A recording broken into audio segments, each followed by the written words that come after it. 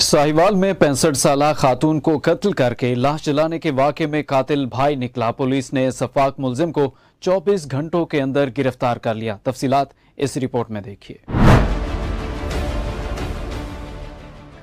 दो रोज़ कबल थाना सिटी के मोहल्ला फरीदगंज में नामालूम अफराद ने पैंसठ साल नूर बीबी को कत्ल करके लाश जला दी थी। वज़ीर अला पंजाब ने आई जी से रिपोर्ट तलब कर रखी थी। थाना सिटी पुलिस ने मुलजिम लाल को गिरफ़्तार कर लिया। कातिल भाई लाल ने बहन को सर में डंडे मारकर कत्ल करने के बाद कानों से बालियाँ भी उतार ली और मुलजिम ने पुलिस को दिए गए एतराफ़ी बयान में कहा कि उसका भाइयों के साथ जायदाद का तनाज़ा था, जिसमें बहन उनको सपोर्ट करती थी। पुलिस राय का कहना है की मुलजिम लाल नशे का भी आदि है। एस एच ओ थाना सिटी साहिवाल और उनकी टीम ने जदीद साइंसी तरीका तफ्तीश की मदद से मकतूला के कातिल का सुराग लगाकर मुलजिम लाल अहमद को 24 घंटों में गिरफ़्तार कर लिया। मुलजिम मकतूला का सगा भाई था, जिसने विरासती जायदाद के तनाज़े की बिना पर मकतूला को कत्ल किया।